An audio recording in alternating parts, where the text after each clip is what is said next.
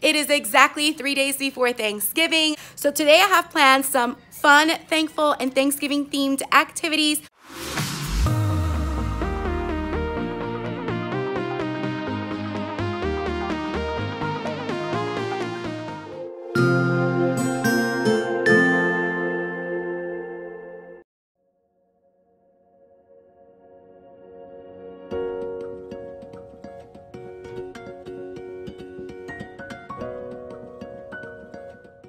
Good morning, everyone, and happy Monday. Today is November 19, 2018. It is exactly three days before Thanksgiving. We have two days with the students this week, so that counts today, Monday, and tomorrow, Tuesday. Wednesday is the teacher workday, and I'm actually taking it off. So I have a nice five day weekend because of the Thanksgiving holidays. So today I am doing no makeup Monday, so I get to enjoy my all natural self. And I can't wait to share some of the activities that I have planned for the students today. So I have to see how many do show up because I know for a fact that three will definitely not be here and I have 20 students. So let's see what happens today. But I do have planned some activities that are also holiday themed in the spirit of Thanksgiving and being grateful and all that jazz. So I can't wait to show you what I have planned for my students. I have to actually go downstairs to sign in because I went straight to my classroom this morning when I arrived. So I have to go sign in. And then I'll see you probably during my break if I do have one today. I hope I have one today. But if I don't, I'll definitely catch up with you sometime later today. See you later.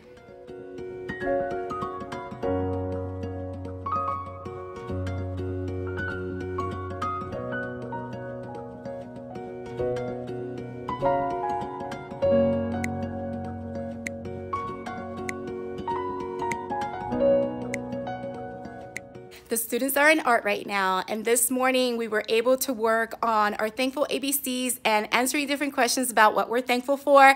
And then I read an awesome, awesome book called Giving Thanks, which is this book right here and I absolutely love this book. I got this book many, many years ago.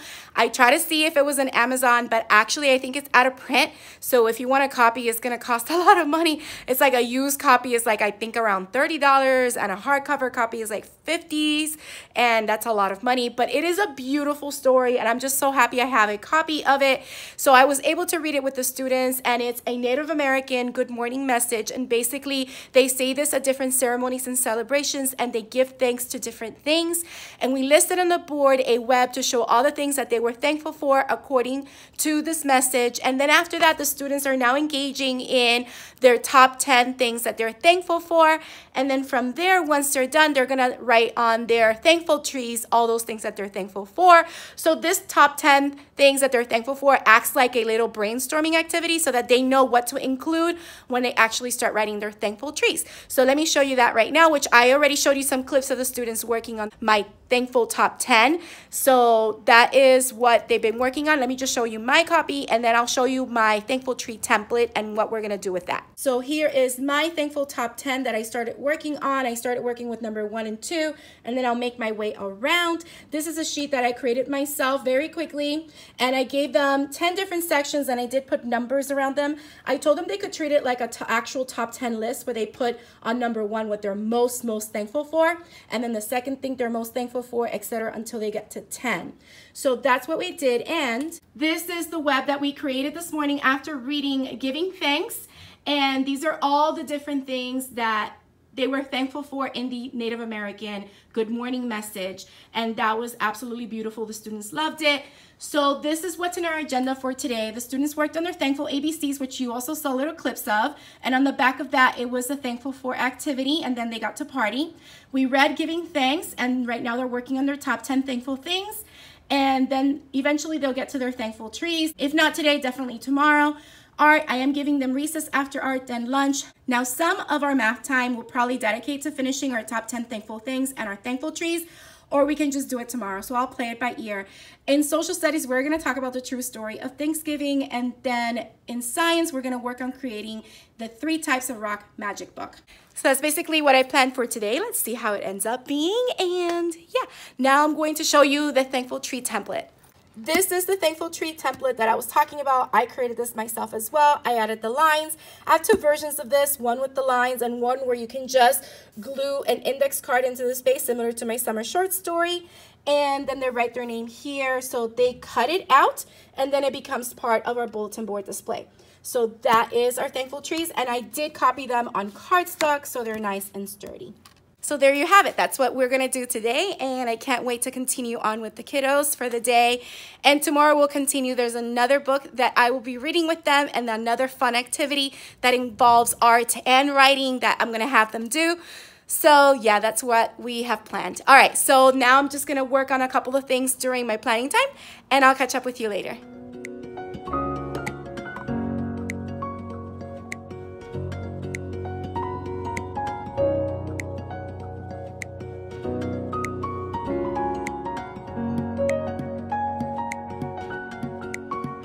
Like you just saw in the previous feed through, I was able to change our area model spiders into our factor turkeys on our bulletin board. So I took all the spiders down, which I can either give back to the students or just file away in their work folders because those were for a grade.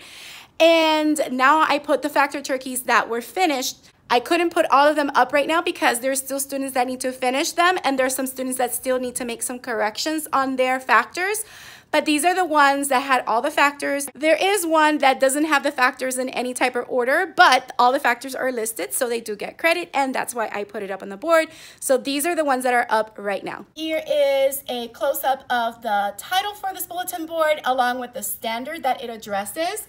And here are the factor turkeys that I did put up on our board for now.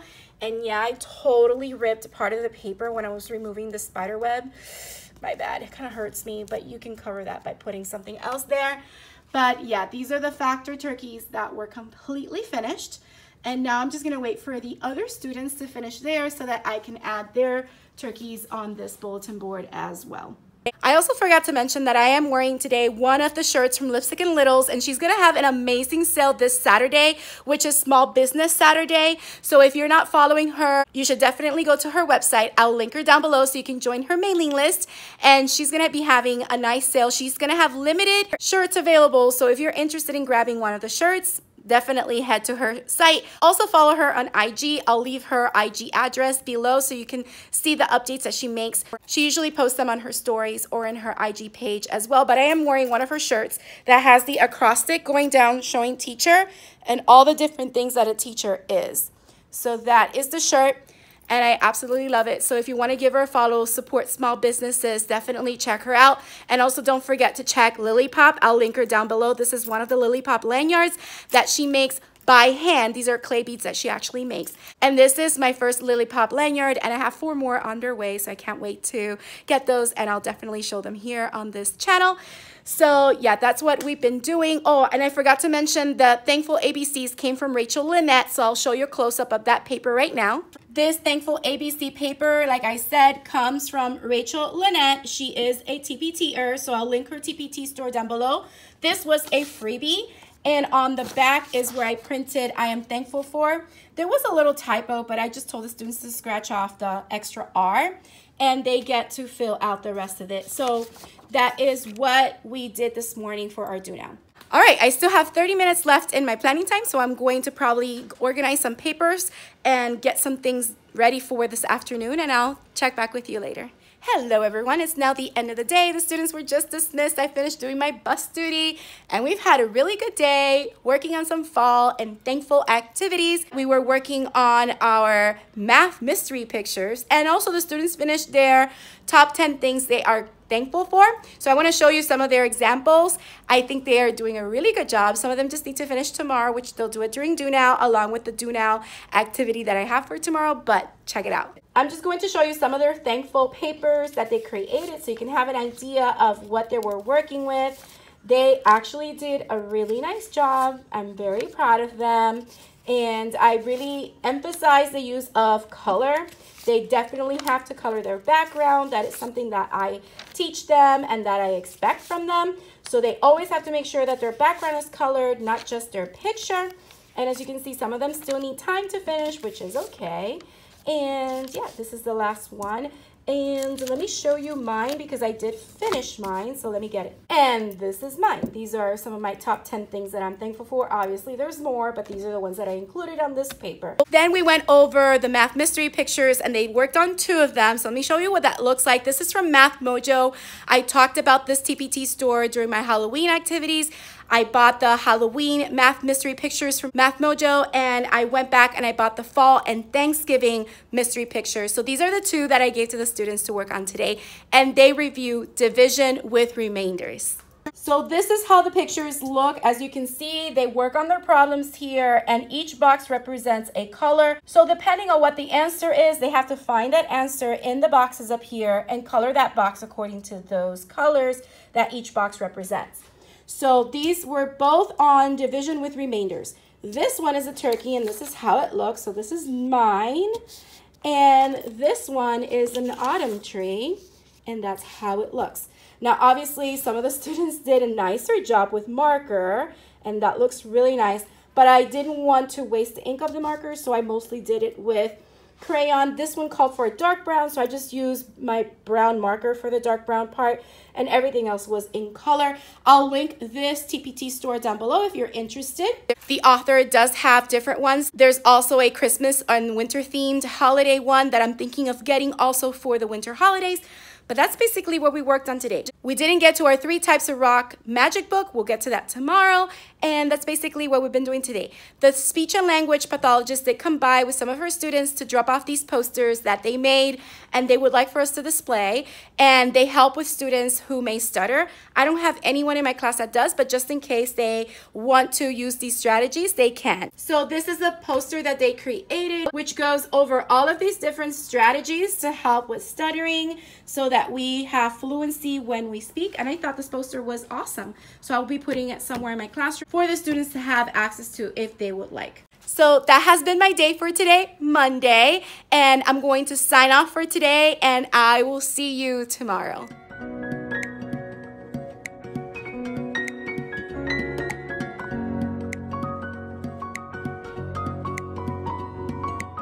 Good morning, everyone. Today is Tuesday, November 20th, 2018, and it's the last day that we have with the students this week. Tomorrow is a teacher planning day, which I am taking off, and then Thursday's Thanksgiving, and Friday is Thanksgiving recess. So I will not see the students again until next week, Monday.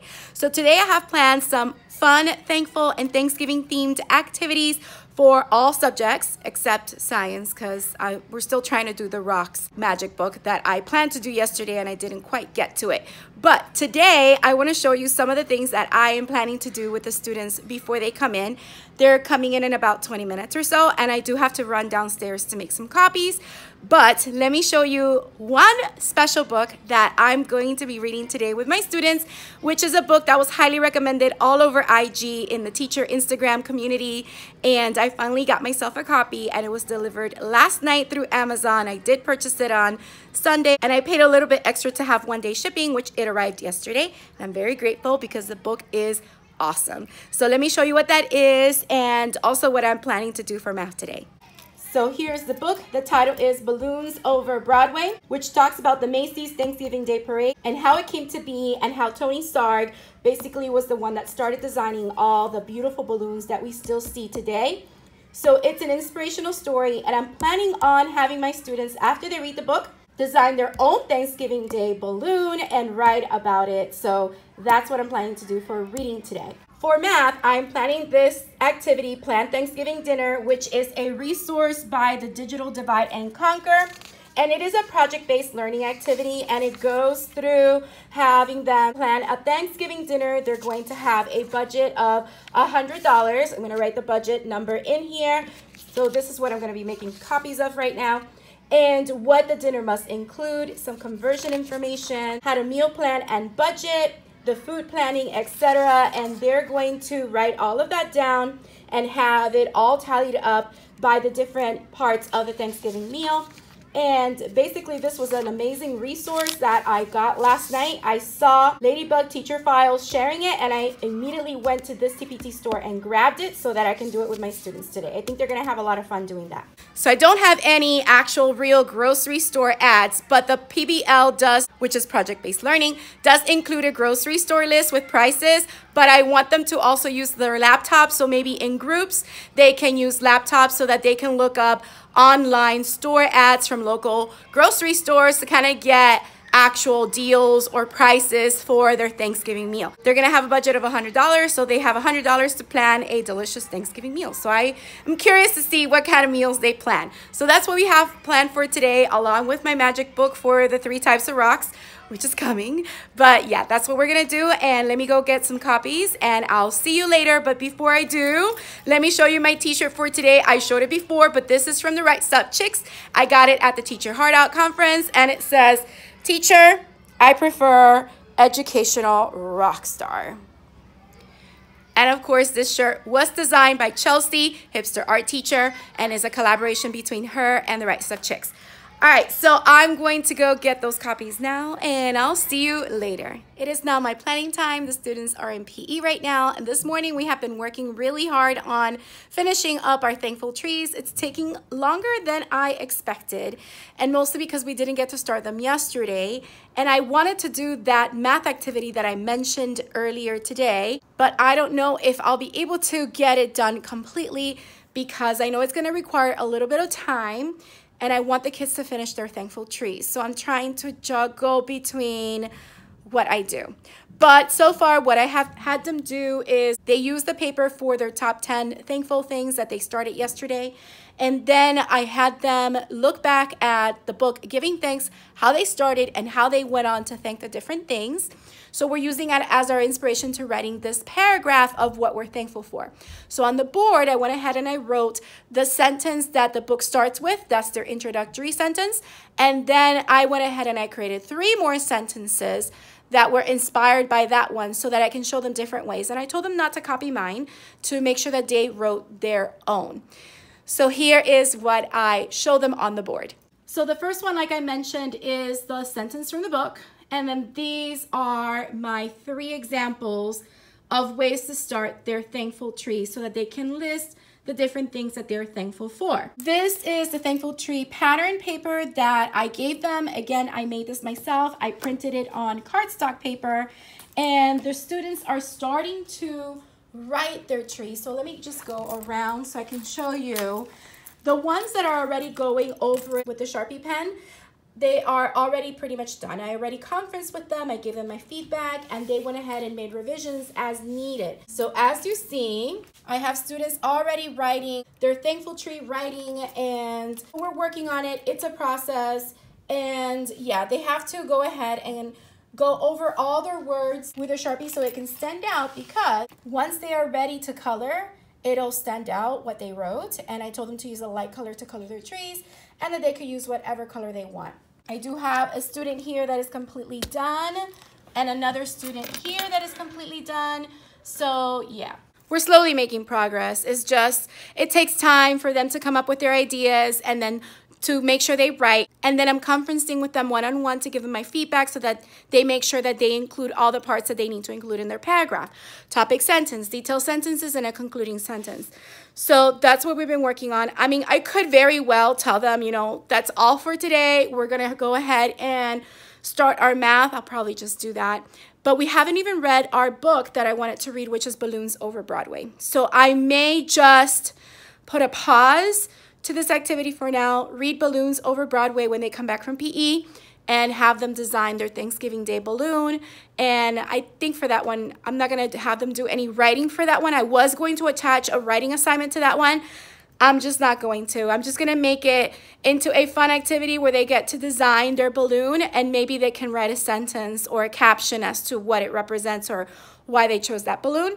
Maybe make it that simple just because I know it's going to take a lot of time if I have them design a balloon and then write a paragraph describing their balloon and the reasons why they chose that balloon. But they're already doing some writing as it is, so and the book is amazing. So I just want to make sure I read the book and have them design a fun Thanksgiving Day Parade balloon of their own, and then we can dive into our planning a Thanksgiving meal project-based learning activity for math. So I think that's what I'm gonna do. All right. So when we come back, I'm just gonna collect our trees because the students that are not here today, which is six students that are not here today, so I only have 14 students today, all of those six students do have to make their thankful turkeys next week because I am attaching a writing grade to that, which is part of our language arts. All right, so let me go ahead and continue working on my planning time. I have a lot of things to do, people. It's crazy. So many things to do, and I have no idea where to start, but I'm gonna do it little by little. So I'll catch up with you probably at the end of the day. See you then.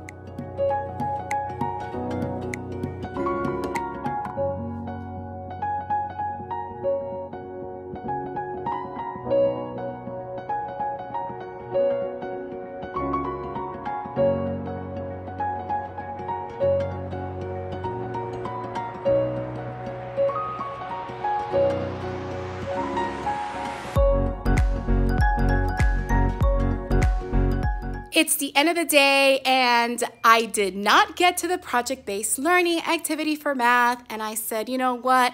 The students were having such a good time designing their Thanksgiving Day parade balloons, and I wanted them to do a good job with that. I didn't want to rush it, I didn't want to stop it. And I decided, you know what? I know next week is after Thanksgiving, but it'll still be a good idea to do that project based learning activity next week. So I'll probably do it as, I don't know, a pickles activity because I can't substitute what we're supposed to do in math because we're already behind. Or I can just donate the activity to another class. I just overplanned and that will happen. I thought that it was a great activity. I thought I was gonna be able to have time to implement it, but the truth is I didn't. I should have stuck to what I had planned originally. I saw the idea last night, like I mentioned previously on Instagram, and I thought that it was wonderful and maybe we could just go ahead and do it. But what I had already planned was already taking up most of the day. And the students really enjoy the book. They love the story. They love looking at the video of the new balloons that will be in the Thanksgiving Day Parade this year. I went on YouTube and I showed that to them and they were excited. They were even excited to find out that the Macy's Day Parade people actually get their designs. A lot of them get the designs for the balloons from kids. So they're like, oh, is there any way that they could like see our designs? I'm like, you never know because I wanted to kind of showcase some of the designs that they created. Some of them did finish, so I wanted to show you the ones that are done. And then I want to show you some of the ones that are still a work in progress that are not 100% done. And they're coming out great. These are going to go outside. So I'm going to take our gamma graphs from Veterans Day down and I'm going to put these up, at least the ones that are done. And as more students finish them, I will put the other ones up. So it's a very great project and they really enjoy doing it. So here we go. So I did end up going over a sheet that I created with the top part being the picture where the picture goes of the balloon. And I did remind them to draw their tethering of the strings because they're balloons. And then I had them write a very short, persuasive kind of letter to Macy's, letting them know what they recommended for a new balloon for their Thanksgiving Day Parade and some reasons why they recommended it. So here's one design. Here's another one. Here's another one. I'm just gonna go through all of these papers so you can kind of see them. And the last two are just mine. I just happen to have them in here. Sorry. I actually just wanted to show you the students. But yeah, this was my example. I first typed it so I can give them an idea of what they could write and I drew it. And then I went ahead and I recommended one for my own drawings, my own imagination. And that is what I wrote as the reason. Now here are the designs that are still a work in progress. The students are trying to finish them, but here's one. Here's another. I had a couple Simpsons fans in here. And of course, Fortnite fans as well. And SpongeBob fans. See, there's another Simpsons. That is a cute little pumpkin pie. This is also from Fortnite, and he was uh, doing the different parts of this particular character. Here's a minion, and they love Beyblades, so of course they want a balloon to be featured for Beyblades. And one reason is that in aftercare there was a Beyblade tournament and they won. So they want this to be one of the balloons. So I thought that was really cute. So as you can see, they really did a great job and I really want to showcase that. And it was a great activity to do and I'm so thankful for the recommendation of my fellow Instagram teachers who recommended Balloons Over Broadway. Beautiful book. There's so much you could do with it. You could even do a STEM activity where you have the students actually build a balloon using balloons. I've seen a couple of teachers do that as well. I just didn't have the time for it and just having them design and write this, I didn't even have the whole class finish. So I just kept it a little simple, but you could definitely do so much more with this one book. All right, so I have a couple of things to get done before I actually leave for the day, like I mentioned before. So I'm gonna go ahead and tackle the paper piles that are on my desk and around my desk, and maybe plan for next week, leave my lesson plans all ready to go along with my copies. Don't know what time I'm gonna leave today. Right now it's 3.30. I'll give you an update by the time I do head home. So I'll see you later. All right, everyone, it's been a long time since I have been here in the classroom since I last saw you. Last time I saw you was like 3.30 and right now is 8.30. So I have been here for five hours, but I have been really productive. I updated all of my grades in the grade book. I'm only missing maybe one grade per subject so that it's ready next week for progress reports to go home because next week we're already halfway through the grading period. And I cleared most of the clutter off my desk and the table behind me, which is another work table that I use. I do have some stacks of paper on my kidney table on the side, but you know what? It's okay. And the big stack of paper that I had in the front of the classroom, I pretty much emptied it and sorted those papers where they needed to be. And I only left the papers that I'm going to need for next week. So this is how my desk currently looks. So here it is. I organized everything and these are pending assignments. This is a calendar that I'm starting to keep because I want to keep track of when I assign assignments.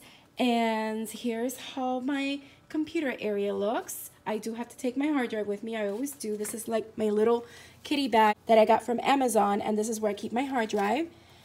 And this is my back table. It's all cleared. That's where all my teacher editions are. This looks really, really nice. I'm so happy this is cleared off. You all don't understand. I also used to have a lot of bags and stacks of paper down here, so I cleared that up and over here as well.